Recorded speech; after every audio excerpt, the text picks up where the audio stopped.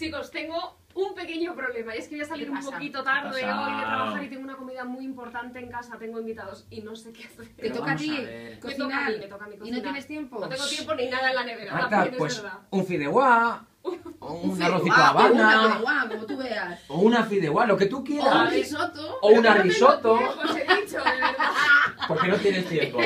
Cristina, por favor, dile lo que tiene que hacer, que Vamos a ver. Marta, si es A que ver, no tienes que tener tiempo, si para eso tienes brillante la sartén, que es facilísimo. Vienen ¿Sí? los dos cacitos, por un lado te viene el caldo, claro, por otro te viene pues la fideuá, el arroz, lo que vayas a hacer, Ajá. lo pones en la sartén, Sí. cinco minutitos ahí, chas, chas, chas, chas, no manchas nada, ¿Verdad? no pierdes tiempo y encima está buenísimo. Ay, de verdad, de verdad que nos morimos y no te educamos. Brillante, brillante, brillante. brillante.